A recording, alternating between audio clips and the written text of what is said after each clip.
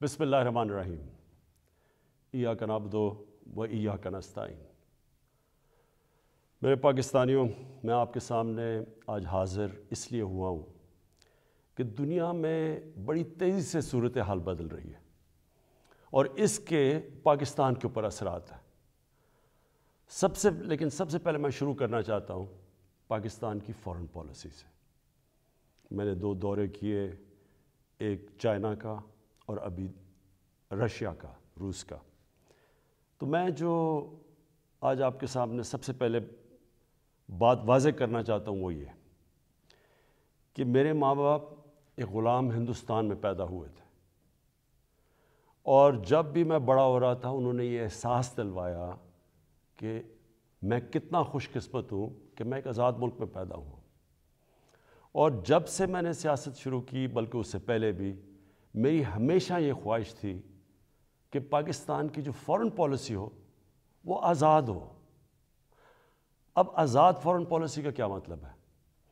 आज़ाद foreign policy का मतलब ये होता है कि एक कौम अपने लोगों के फ़ायदे के लिए फ़ॉरेन पॉलिसी बनाए। वो फ़ॉरेन पॉलिसी ना बने जो किसी और का फ़ायदा करे और अपने मुल्क को नुकसान पहुँचा दे।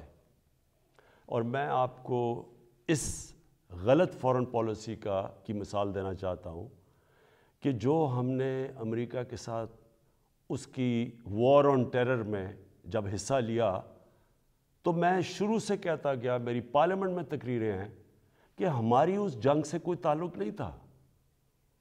कोई पाकिस्तानी मुलवस नहीं था नौ ग्यारह में। हमारा कोई उससे लेना देना नहीं था। तो मैं तब से कहता गया कि हमें उसमें शिरकत नहीं करनी चाहिए। हमने पहले अमेरिका के साथ की जंग में शिरकत की सोवियत यूनियन के ख़िलाफ़, जब वो अफ़गानिस्तान में जहाद में शिरकत की। और फिर दस साल के बाद जब फिर शिरकत की नौ ग्यारह के बाद अमेरिका के साथ उसकी जंग में तो जब हम तब शिरकत कर रहे थे कि जहाद थी, कि अफ़गानिस्तान में कोई फ़ॉरेन ऑक्यूपेशन हुई तो उसके ख़िलाफ़ जहाद है लेकिन अब जब अमेरिका अफ़गानिस्तान में आ गया तो उसके ख़िलाफ़ दहशत गर्दी थी। इस पॉलिसी के मैं शुरू से ख़िलाफ़ था और बदकस्मती से ये फ़ॉरेन पॉलिसी पाकिस्तानियों के फ़ायदे के लिए नहीं की गई। इस इस, इसकी वजह से अस्सी हज़ार पाकिस्तानियों की शहादतें हुई। हमारे पैंतीस लाख लोगों की नकल मकानी हुई कबाली इलाका तबाह हुआ। हमें डेढ़ सौ अरब डॉलर से ज़्यादा मुल्क को नुकसान हुआ। लेकिन जो इसकी सबसे शर्मनाक बात क्या थी कि दुनिया की तारीख में पहली दफ़ा एक मुल्क किसी की हमायत में जंग लड़ रहा है और वो मुल्क उसी मुल्क के ऊपर बमबारी कर रहा है। हमारे मुल्क में 400 से ज़्यादा ड्रोन अटैक्स किए गए हमारे ही दोस्त आ, आ, के, जिसके लिए हम जंग लड़ रहे थे। उससे भी ज़्यादा शर्मनाक चीज़ क्या? है कि मिलिट्री डिक्टेटर्स तो हमेशा तारीख़ है पाकिस्तान की, कि वो हमेशा चाहते हैं कि दुनिया उनको एक्सेप्ट करे, उनको माने, उनको लेजिटमाइज़ करे, और वो हमेशा आसान होते हैं सुपर पावर्स के लिए इस्तेमाल करना। लेकिन जनरल मुशरफ के दौर में तो सिर्फ़ दस ड्रोन अटैक्स हुए।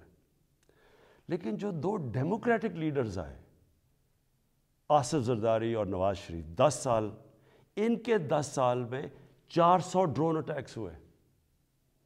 अब मैं सवाल ये और मैं फिर से वापस आता हूँ कि आज़ाद फ़ॉरेन पॉलिसी क्या होती है? आज़ाद फ़ॉरेन पॉलिसी तो ये होनी चाहिए थी कि ये दो डेमोक्रेटिक लीडर्स को अमेरिका को कहना चाहिए था कि हमारे जब आप बमबारी कर रहे हैं, हमारे लोग मार रहे हैं, उसमें औरतें बच्चे मार रहे हैं, बेकसूर लोग मार रहे हैं। तो क्या दो डेमोक्रेटिक लीडर्स को स्टैंड नहीं लेना चाहिए था उसके ऊपर? एक स्टेटमेंट नहीं दी दोनों ने, बल्कि आसिफ जरदारी ने उसको एक बॉब वुडवर्ड जो बहुत बड़ा सहाफ़ी है अमेरिका का, वो अपनी किताब में लिखता है कि इसने, आसिफ जरदारी ने अमेरिका के आर्मी चीफ को कहा कि कोलेट्रल डैमेज से मुझे कोई फ़र्क नहीं पड़ता जो ड्रोन अटैक से जो बेकसूर लोग मरते हैं। और ये क्यों है? मैं सिर्फ़ आपको इसलिए ये शुरू में बात फॉरेन पॉलिसी की की, ये इसलिए है कि जब मुल्क के सरबराहों के पैसे और जायदाद मुल्क से बाहर पड़ी होती है, जब उनके अरबों डॉलर्स की प्रॉपर्टी और बैंक बैलेंसेस और ऑफ़ शोर अकाउंट्स होते हैं, वो कभी उस मुल्क की बेहतरी के लिए फ़ायदा नहीं करते, वो अपने पैसे बचाने के लिए करते हैं। और आज रूस के जो बड़े बड़े बिजनेसमैन जिनको ओलिगार्क्स कहते हैं, जिनके पैसे पड़े हुए हैं लंदन और जिनकी प्रॉपर्टीज़ है वहाँ। आज जब से ये जंग शुरू हुई है, उन्होंने सब फ्रीज करने शुरू कर दिए, जब्त करने शुरू कर दिए जो इनके पैसे पड़े हुए हैं। इनके बिजनेसमैन के पैसे पड़े हुए हैं मगरबी बैंक्स में और मगरबी कैपिटल्स में। तो इसलिए हमारे मुल्क की पॉलिसी आज़ाद हो ही नहीं सकती। और मैं अपनी कौम को आज कहना चाहता हूँ आप जब वोट डालें तो ये समझ जाएँ कि अगर इस मुल्क में आप आज़ाद फॉरेन पॉलिसी चाहते हैं तो कभी उस पार्टी के, पार्टी को वोट ना डालें जिनके सरबराह के पैसे और दौलत और जायदाद मुल्क से बाहर पड़ी हैं।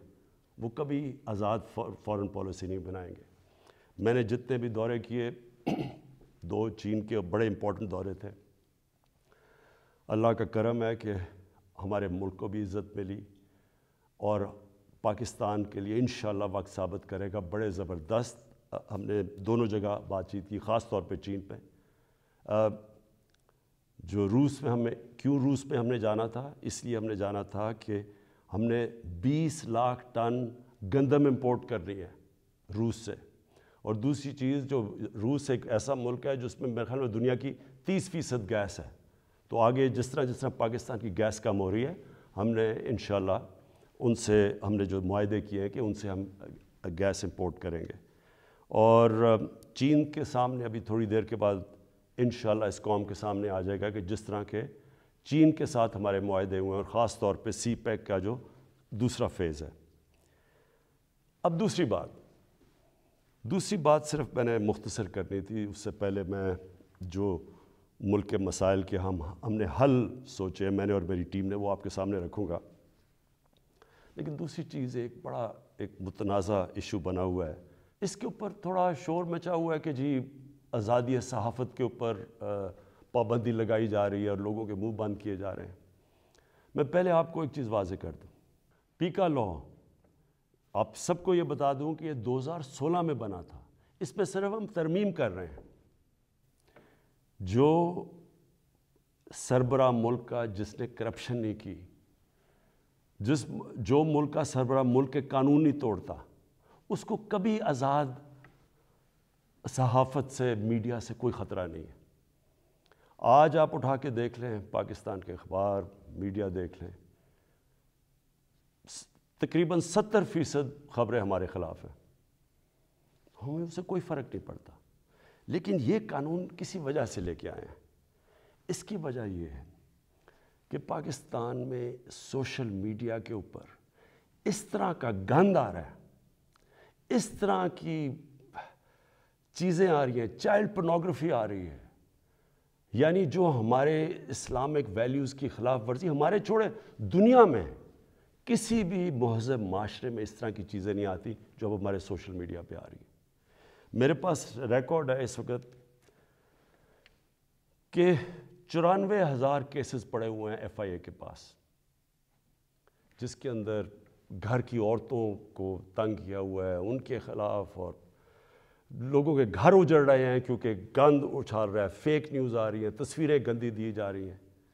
अभी तक सिर्फ़ अड़तीस केसेस का फैसला हुआ है, चौरानवे हज़ार केसेस में से।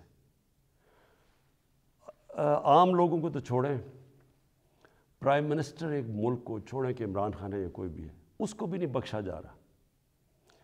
एक सहाफ़ी ने पहले तीन साल पहले लिखा कि जी इमरान खान की बीवी घर से छोड़ के चली गई हैं। और जी इमरान खान ने कोई आ, आ, गलत गैर कानूनी काम किया बनी गाला में। मैंने अदालत में केस किया। तीन साल हो गए हैं प्राइम मिनिस्टर को अभी तक कोई इंसाफ नहीं मिल रहा। वही फिर से सहाफ़ी लिखता है। अब फिर के जी उनकी बीवी घर छोड़ के चली गई हैं। मुल्क का प्राइम मिनिस्टर अगर उससे ये हो सकता है, इस तरह का उसके ख़िलाफ़ उसके, वो औरतें जिनका कोई सियासत से ताल्लुक़ नहीं है तो सोचे बाकी लोगों का यहाँ क्या होगा। वही यही सहाफ़ी जब इसने नवाज़ शरीफ के दूसरे दौर में उसके करप्शन पे लिखा था, उसको तीन दिन इसने बंद करके डंडे मारे थे।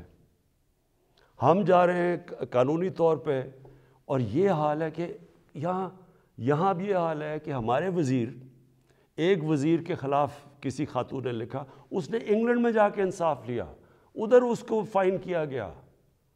अब मुराद सही के ख़िलाफ़ बात है, मुराद सही सोच रहे हैं इंग्लैंड में कानून ले, जाके केस करना। शौकत खानम के ऊपर एक मीडिया हाउस जंग ग्रुप, इन्होंने शौकत खानम के ऊपर लिखा कि शौकत खानम का जो पैसा है वो तहरीक इंसाफ को जा रहा है। इतनी भी जहमत नहीं की कि कम से कम शौकत खानम से पूछ तो लेते, उनका वर्जन तो ले लेते कि कैसे चेक जो शौकत खानम है वो तहरीक इंसाफ के ऊपर जा रहा है। अब शौकत खानम, पहले ही एक नून लीग ने हनीफ अब्बासी ने शौकत खानम के ऊपर इसी तरह कहा था कि पैसा चोरी हो रहा वो केस दस साल हो गए हैं। वो लोअर कोर्ट से जीत चुकी है शौकत खानम। दस साल के बाद भी इंसाफ नहीं। तो अब शौकत खानम इंग्लैंड में, जिधर रजिस्टर्ड चैरिटी है, और अमेरिका में, उधर केस करने जा रही है, इसी जंग ग्रुप के ऊपर। तो कहने का मेरा मकसद ये है कि ये तो दुनिया में कहीं भी नहीं होता। आज़ादी सहाफ़त के नाम पे या माफियाज बैठ के ब्लैकमेल कर रहे हैं। इनके एजेंडे कुछ और हैं। या ऐसे सहाफ़ी बैठे हैं जो पैसे लेके ये सारे गंद उछाल रहे हैं ब्लैकमेल कर रहे हैं। गवर्नमेंट के ऊपर मैंने आपको कहा कि सारी ज़िंदगी मैंने तनकीद देखी है। मैं क्रिकेट कैप्टन से मुझे तनकीद होती थी। मैंने सारे मगरब में देखा हुआ है कि क्या है। इंग्लैंड के अंदर जिधर से हमने जमहूरीत के वैल्यूज़ लेके आए हैं, मैंने इंग्लैंड में एक केस लड़ा है, ये जो हर जाने का केस सबसे बड़ा उनका खिलाड़ी था जिसका मेरा केस हुआ था। मुझे पता है कि कभी भी किसी की ज़रूरत नहीं हो सकती जो यहाँ चीज़ें, जिस तरह की गैर जिम्मेदाराना चीज़ें यहाँ आती हैं, किसी की ज़रूरत नहीं हो सकती कि यही जाके आप किसी और जमहूरीत के अंदर करें। तो मैं ये सिर्फ़ इसलिए कह रहा हूँ कि ये इस मुल्क के लिए इतना ज़रूरी है। मुझे इतने लोग कॉल करते हैं, माएँ कॉल करती हैं, मैसेजेस देती हैं कि किस तरह के हालात हो गए हैं, क्योंकि कोई पूछने वाला नहीं है। तो इसके ऊपर मैंने सिर्फ़ ये क्लियर करना था कि इसका कोई आज़ादी सहाफ़त से ताल्लुक़ नहीं है। जो अच्छे सहाफ़ी हैं, वो खुश होंगे कि फ़ेक न्यूज़ ख़त्म हो।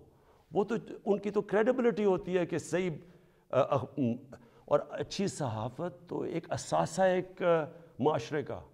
उनकी जो तनकीद होती है, वो हमारे प्राइम मिनिस्टर वज़ीरों को आगाह रखती है कि हमने क्या करना है, हम क्या गलतियाँ कर रहे हैं। लेकिन ये ब्लैकमेल करना, गंद उछालना, घर की औरतों को इस तरह की चीज़ें कहनी प्राइम मिनिस्टर मुल्क का प्राइम मिनिस्टर अब ये तीन मेन अखबार हैं यहाँ। हम, मैं नॉमिनेट करता हूँ आज़ाद कश्मीर का प्राइम मिनिस्टर जब हमारी पार्टी इलेक्शन जीतती है। तीन मेन अखबारों के फ्रंट पेज पे आता है कि जी वो जादू टोने से या पता नहीं सितारे देख के उसको आज़ाद कश्मीर के प्राइम मिनिस्टर को सिलेक्ट किया गया। यही चीज़ कहीं भी इंग्लैंड और मगरब के अखबारों में करती है। मैं आपको यकीन दिलाता हूँ कि इनके ऊपर इतना बड़ा हरजाना होना था कि इनकी शायद अखबार ही बंद हो जाते।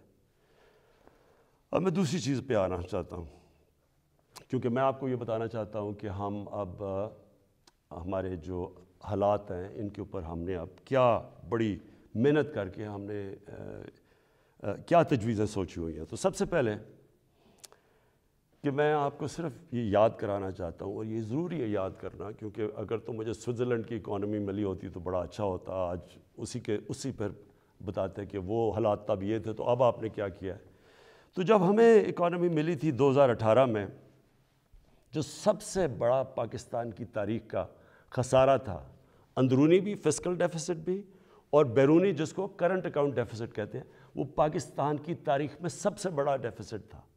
हमारे जो फॉरेन एक्सचेंज रिज़र्व्स थे, वो मुश्किल से तीन हफ़्ते की भी एक्सपोर्ट्स के लिए इम्पोर्ट्स के लिए काफ़ी नहीं थे।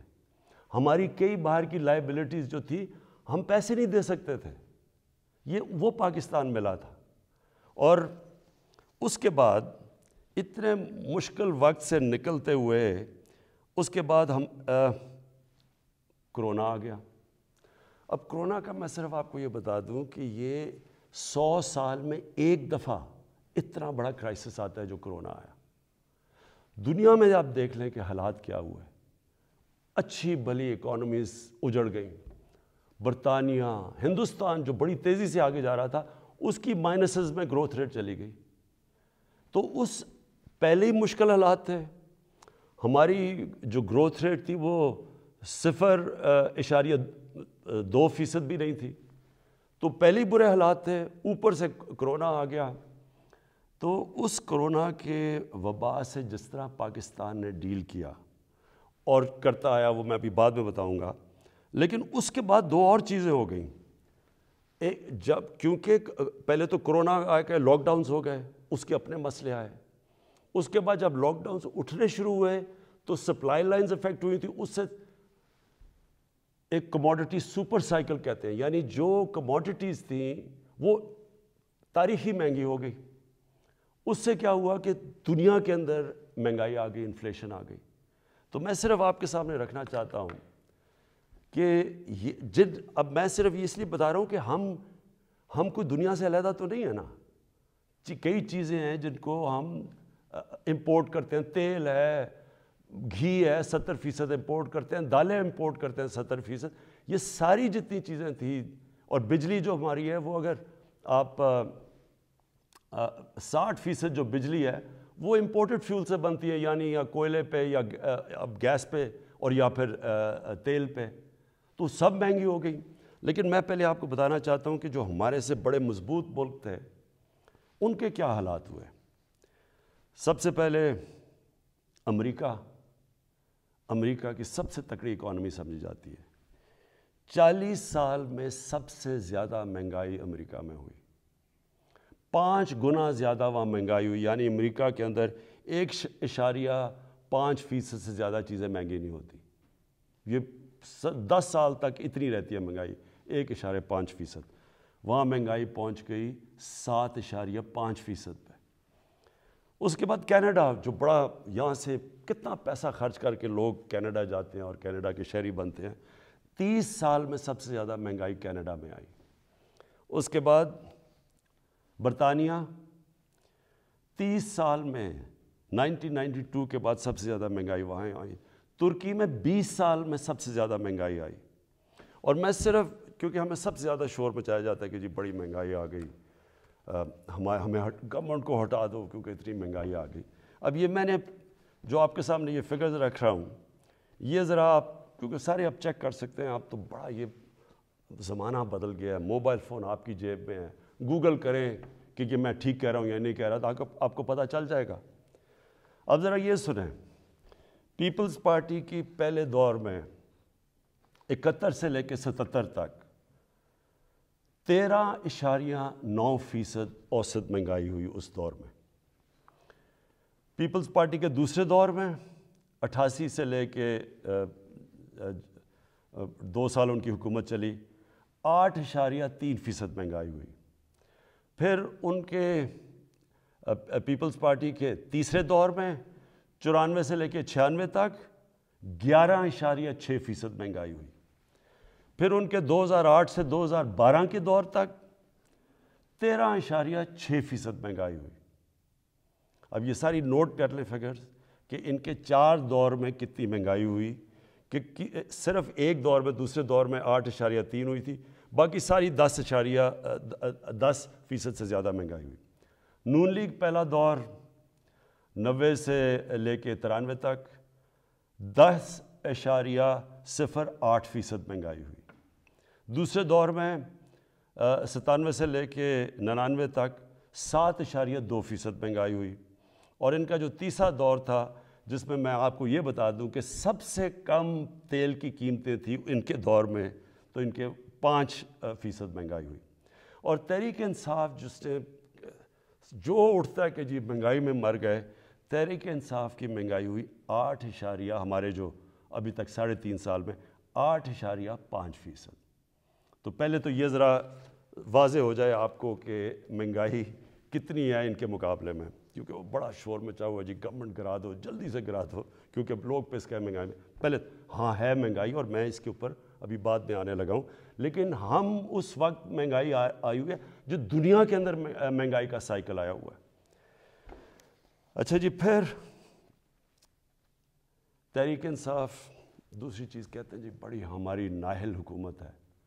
तो मैं सिर्फ़ अब आपको सिर्फ़ जो इंटरनेशनली माना गया कि तहरीक इंसाफ ने किस तरह ये सारे चीज़ों का मुकाबला किया। अब मैं सिर्फ़ इंटरनेशनल एक्नॉलेजमेंट बता रहा हूँ कि दुनिया ने तहरीक इंसाफ जो इस वबा में, जो सौ, एक सौ साल में एक दफ़ा इतना बड़ा बुरान आता है तो दुनिया क्या कहती है? सबसे पहले इकोनॉमिस्ट मैगज़ीन जो दुनिया में सारी दुनिया की इकोनॉमीज़ का जायज़ा लेती है, वो कहती है कि तीन सालों के अंदर जो ज, ज, ये कोरोना का दौर है जो मुल्क टॉप तीन में जो टॉप तीन में 190 मुल्कों में जो सबसे ऊपर जिसने सबसे बेहतर तरीके से अपनी मीशत भी बचाई और अपने लोगों को बचाया उन तीन में पाकिस्तान है।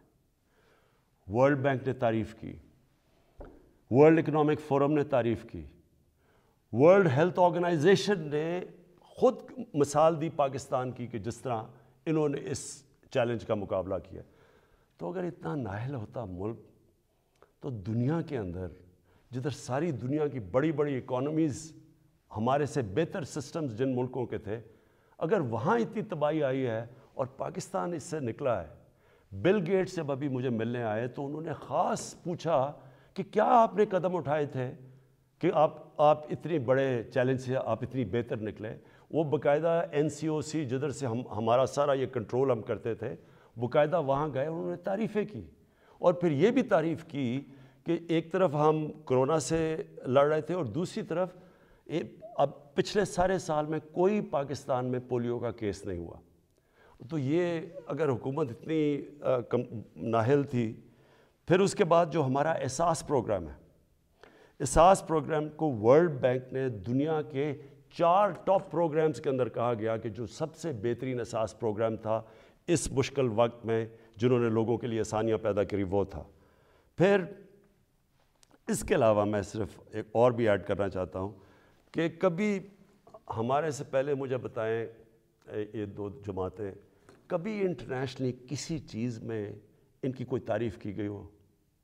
क्लाइमेट चेंज के अंदर बरतानिया के प्राइम मिनिस्टर ने यूनाइटेड नेशंस जनरल असेंबली में पाकिस्तान की तारीफ़ की कि पाकिस्तान जिस तरह क्लाइमेट चेंज से जो जो अगला बहुत बड़ा मसला दुनिया को आ रहा है, उसने सिर्फ़ और सिर्फ़ पाकिस्तान की तारीफ़ की। अच्छा जी, उसके बाद मैं जो आपके सामने जो अभी चीज़ें लेके आ रहा हूँ कि हमने करना क्या है, ताकि आप सब मेरी सारी कौम तैयार हो जाए इसके लिए। अब इस सिचुएशन के अंदर अब मैं ज़रा आपको बताऊँ कि एक तरफ़ इकॉनमी का बुरा हाल था, फिर ऊपर से कोरोना आ गई, फिर वो एक दुनिया के अंदर कीमतें चढ़ गई, और फिर अफ़गानिस्तान का क्राइसिस आ गया। अफ़गानिस्तान में क्या हुआ था? अफ़गानिस्तान में लोगों ने पैनिक करके डॉलर ख़रीदने शुरू कर दिए। डॉलर आके उन्होंने पाकिस्तान से ख़रीदे, क्योंकि वहाँ लोगों को अनसर्टनटी थी। उससे प्रेशर पड़ गया हमारे रुपए के ऊपर। और उसके बाद, वो भी मैं बाद में हूँ कि अब यूक्रेन आ गया, लेकिन उससे पहले अब सोचें कि इस सारी चीज़ में पाकिस्तान ने, इस मुश्किल वक्त में पाकिस्तान की जो इकॉनमी थी, जो हमारी दौलत में इजाफा हुआ जो ग्रोथ रेट थी, और वो वर्ल्ड बैंक वेरीफाई कर रहा है, वो पाँच इशारिया छः फ़ीसद थी। पाँच इशारिया छः फ़ीसद नून लीग के आखिरी साल में थी, जब उन्होंने खसारा करके, कर्ज़े लेके और बड़े खसारे करके, जब उन्होंने जो उनकी बेस्ट पाँचवें साल में थी, वो तीसरे साल में तरीक इंसाफ के पाँच इशारिया छः फ़ीसद थी, ये हम नहीं कह रहे ये वर्ल्ड बैंक ने वेरीफाई की है इसके अलावा क्या हुआ? पाकिस्तान की दौलतों में ये कैसे इतनी ज़्यादा हमारी ग्रोथ रेट बनी? पाकिस्तान की तारीख में सबसे ज़्यादा रेमिटेंसेस बैरून मुल्क पाकिस्तानियों ने भेजी, इकतीस अरब डॉलर। ये तकरीबन दस अरब डॉलर ज़्यादा थी जो कि हमारे से पहले रेमिटेंस भेजते थे। पाकिस्तान की तारीख की सबसे ज़्यादा एक्सपोर्ट्स की गई। पिछले पाँच साल में जो पिछला नून लीग का दौर था एक्सपोर्ट्स वहीं की वहीं थी। मैं आपके सामने एक ये रखता हूँ। ये मैं चाहता हूँ कि ये ज़रा आप ग्राफ देख लें। इस ग्राफ में आपको ये नज़र आएगा कि 2020 2000 से ग्राफ है और 2020 तक। इस ग्राफ के अंदर आप देखेंगे कि ये रवांडा उसी दौर में किधर से किधर चला गया।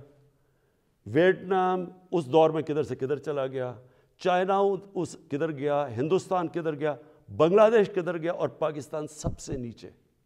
यानी हमारी एक्सपोर्ट्स बढ़ी नहीं। और जब तक एक्सपोर्ट्स ना बढ़े, वो मुल्क आगे बढ़ ही नहीं सकता। तो हमने मुझे और फ़ख्र है इस चीज़ पे कि 38 अरब डॉलर की पाकिस्तान की तारीख में सबसे ज़्यादा हमने एक्सपोर्ट्स की। इन सारे चैलेंजेस के बावजूद फिर हमारी जो टैक्स कलेक्शन है, कोई सोच भी नहीं सकता था कि जब लॉकडाउन हुए हों और इकॉनमी स्लो हुई हो, उस दौर में पाकिस्तान की जो टैक्स कलेक्शन है, वो छः हज़ार अरब रुपए से ज़्यादा हुई। रिकॉर्ड है पाकिस्तान की तारीख में। और ये ग्रोथ थी, इकतीस फ़ीसद हमारी टैक्स कलेक्शन की ग्रोथ हुई। और फिर से मैं रिपीट करता हूँ, ये सारी, जितने भी मैं अदाद व शुमार आपको दे रहा हूँ, अपने मोबाइल फ़ोन के ऊपर ये सब चेक कर सकते हैं। फिर जो चार बड़ी पाकिस्तान की फ़सलें थीं, गंदम, चावल शुगर, गन्ना और और मकई, पाकिस्तान की तारीख में सबसे ज़्यादा इनकी प्रोडक्शन ही नहीं हुई इन चार की, क्योंकि हमने पैकेज दिए हुआ था अपने किसानों को। कीमत भी सबसे ज़्यादा मिली। तो सिर्फ़ किसानों के पास पहली दफ़ा 1100 अरब रुपया इजाफी पैसा गया किसानों के पास। और ये इससे इससे क्या हुआ? किसानों के पास जब पैसा ज़्यादा गया, हमने पहले ये शुगर मिल्स वाले उनको पैसे टाइम पे नहीं देते थे, उनकी कटौती कर देते थे, उनको पैसे कम मिलते थे। लाइनें लगी होती थी उनकी यानी शुगर मिल्स के बाहर किसानों की। क्योंकि हमने कानून पास किए और हमने उनको सही पैसा दिलवाया, उनको कीमत मिली, टाइम पे मिली, उन्होंने अपनी पैसा लगाया ज़मीन पे। उसकी वजह से ये पाकिस्तान की तारीख में और भी हमने कदम उठाए, किसान कार्ड है, लेकिन उसकी वजह से हमारी इतनी ज़्यादा रिकॉर्ड प्रोडक्शन हुई। फिर हमारी जो लार्ज स्केल मैन्युफैक्चरिंग इंडस्ट्री थी, उनको हमने इंसेंटिव्स दिए। सात इशारिया चार फ़ीसद उधर हुई। हमारी जो टॉप पाकिस्तान की सौ कंपनीज़ थी उन्होंने 930 अरब रुपए का प्रॉफिट जो रिकॉर्ड कमाया, इससे कभी इतना ज़्यादा प्रॉफिट ही उन्होंने कमाया। और मैं चाहता हूँ कि यहाँ लोग बड़े बड़े मुनाफे करें, ताकि और इन्वेस्टर्स आएँ, ताकि और खुशहाली आए, ताकि और मुल्क की दौलत में इजाफा हो। पाकिस्तान का जो प्राइवेट सेक्टर है, उसकी क्रेडिट यानी उन्होंने जो कर्ज़े लिए हैं, वो पाकिस्तान की तारीख में सबसे ज़्यादा लिए, चौदह सौ अरब रुपया। उसके बाद पाकिस्तान की जो ट्रैक्टर सेल थी, ये रिकॉर्ड हुई। 20 परसेंट पिछले साल से ज़्यादा ट्रैक्टर्स बिके। ट्रक्स इक्यासी फ़ीसद ट्रक्स और बसेस ज़्यादा बिकी पाकिस्तान में। टेक्सटाइल की एक्सपोर्ट पाकिस्तान की तारीख में सबसे ज़्यादा हुई 16 अरब डॉलर और हमारी मेन एक्सपोर्ट ही टेक्सटाइल है। तेल की कंजम्पशन यानी हमारा जो तेल 15 फ़ीसद बढ़ गई पाकिस्तान में तेल की कंजम्पशन क्यों? क्योंकि एक्टिविटी बढ़ गई बिज़नेस एक्टिविटी बढ़ गई। कंस्ट्रक्शन सेक्टर के अंदर, क्योंकि हमने कंस्ट्रक्शन सेक्टर को उठाया था सबसे पहले, उसमें 1500 अरब रुपया कंस्ट्रक्शन सेक्टर के अंदर गया। और जिसकी वजह से आपने देखा कि जो हमारे रोज़गार, लोगों का रोज़गार भी बढ़ा और और फिर जो हमारा फॉरेन एक्सचेंज था, जो हमें सबसे कम फॉरेन एक्सचेंज रिजर्व्स रह गए थे, हमारे तेईस इशारिया दो अरब डॉलर के फॉरेन एक्सचेंज रिज़र्व तकरीबन पाकिस्तान की तारीख में सबसे ज़्यादा हमारे फॉरेन एक्सचेंज रिजर्व्स हैं। लेकिन हमने ये फ़ैसला किया, मेरे पाकिस्तानी, हमने ये फ़ैसला किया कि हम हम ये समझ रहे थे कि ये जो एकदम कीमतें ऊपर गई हैं, तेल की और कमोडिटीज़ की दुनिया के अंदर तो हम ये समझ रहे थे कि अब नीचे आनी शुरू हो जाएँगी।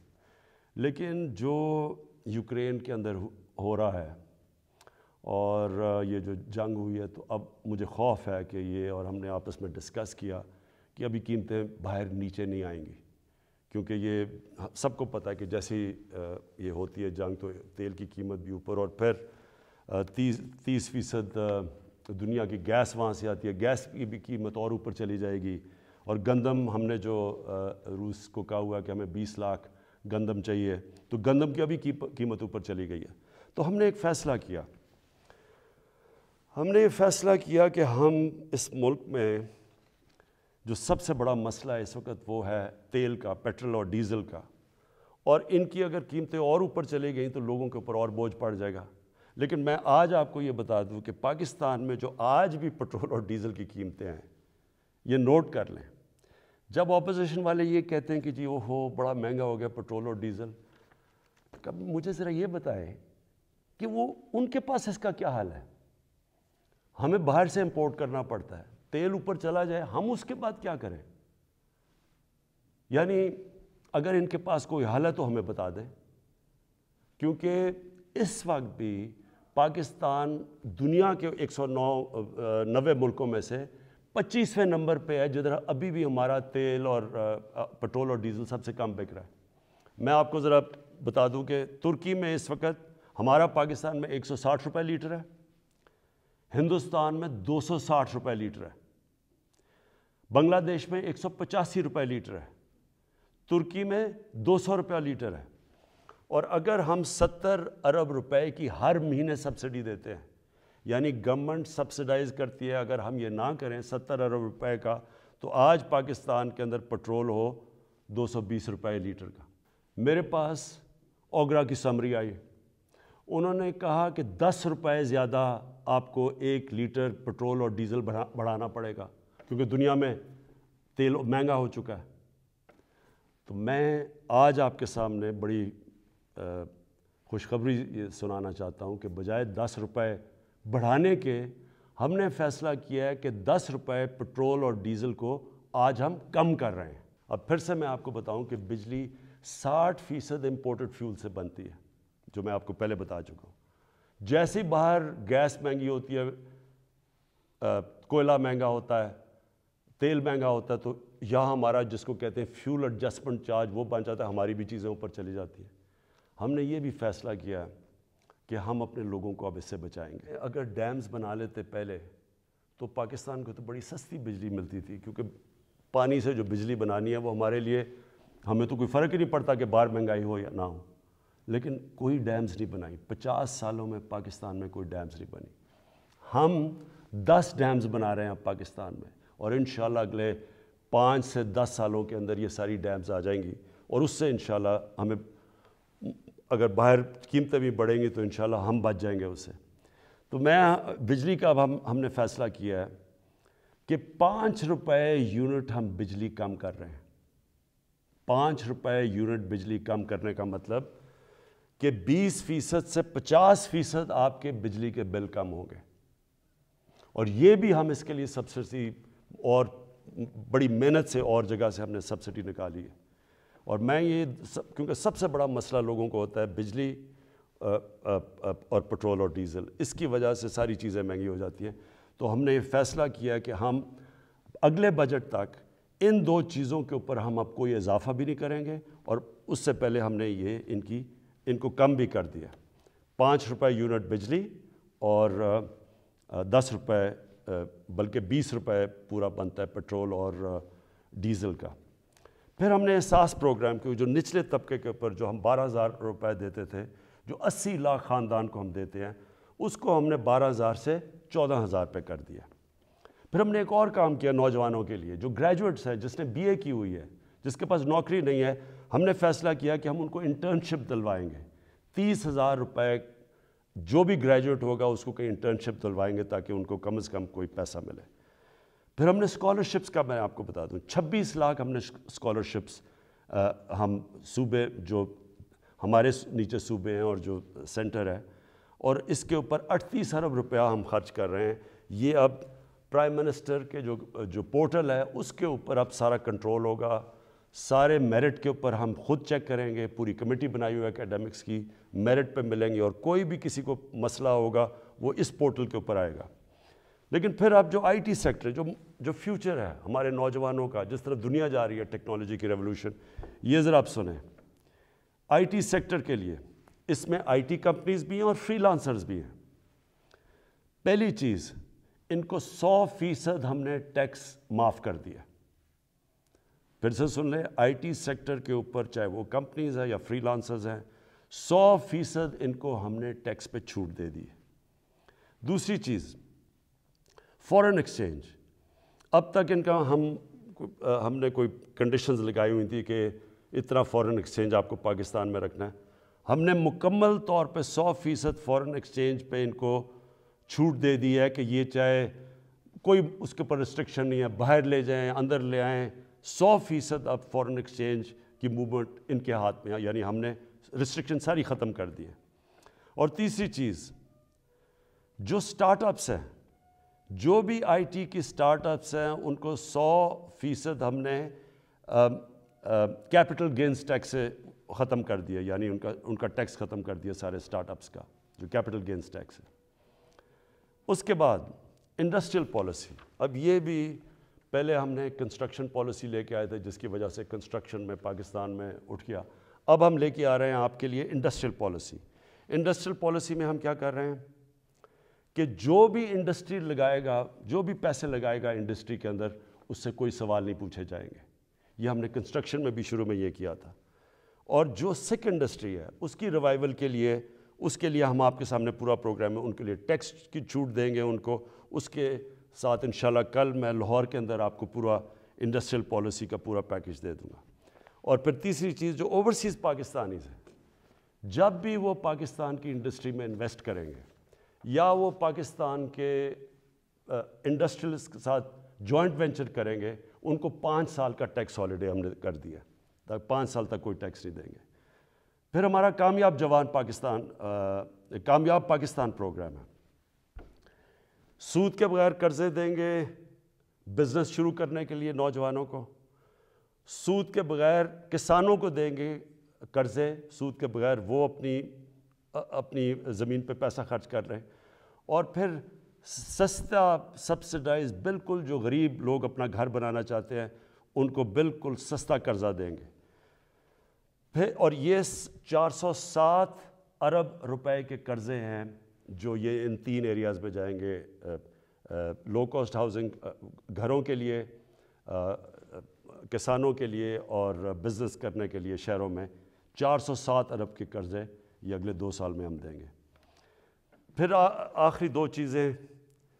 हमने, मुझे बड़ा फ़ख्र है कि हमने बड़ी मुश्किलों से पाकिस्तान में बैंकों को राज़ी किया, उनके लिए उनके सारे जो आसानियाँ पैदा की सब्सिडाइज़ किया। कि बैंक्स छोटे लोगों को कर्ज़े दें। अभी तक तनख्वाहदार लोग वो अभी तक आ, उनको बैंक कर्ज़े नहीं देते थे। कमज़ोर यानी लो जो मज़दूर होते हैं वेल्डर होते हैं वो काम करने वाले उनकी सोच भी नहीं सकते अपने लिए घर बनाना।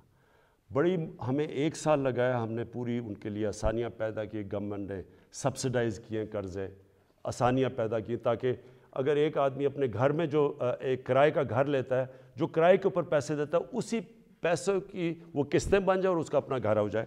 तो मुझे बड़ी खुशी ये है कि बैंकों ने अब तक इसमें डेढ़ सौ अरब रुपए के लो इनकम गरीब लोगों की जिनकी आमदनी नहीं है, उनको दे चुके हैं अप्रूवल्स, जिसमें 50 अरब रुपया इन घरों के लिए दे चुके हैं। यानी वो काम शुरू हो गया, घर बनने शुरू हो गए। और आखिर में सेहत कार्ड। मैं मुझे सबसे ज़्यादा फ़ख्र ये है कि हमारे जो सूबाई चीफ मिनिस्टर्स थे उन सबको मैंने आगाह किया कि ये सबसे बड़ी नेमत है एक गरीब घराने के लिए कि उसके पास हेल्थ इंश्योरेंस हो।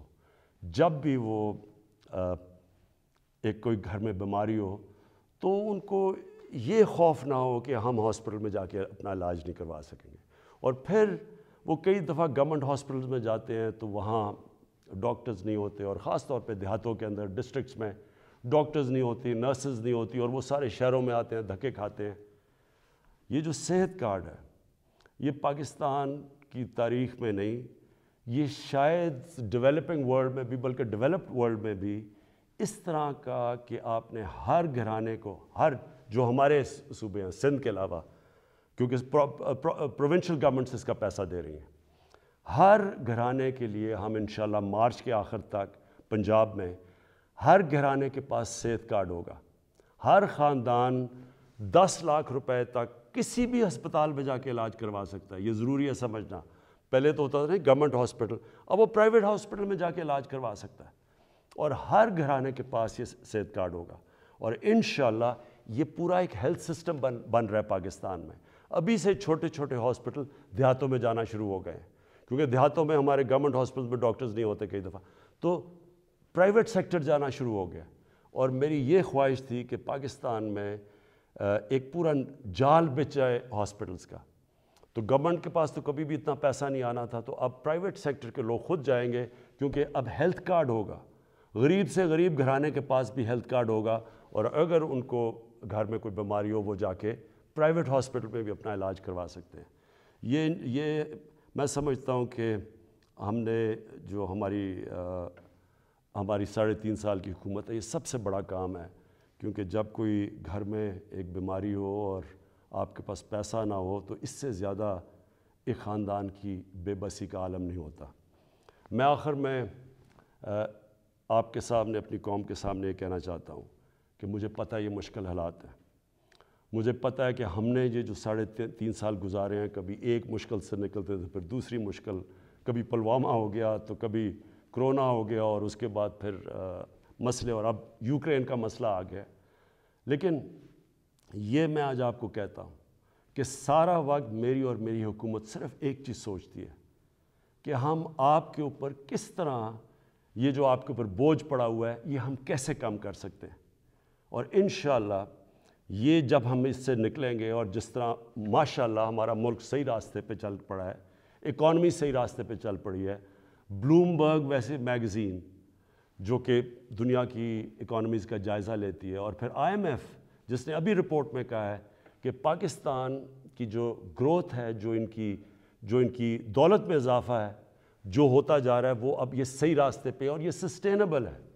ये बहुत बड़ी चीज़ है कि एक मुश्किल वक्त से निकल के आज पाकिस्तान सही रास्ते पर निकल चुका है।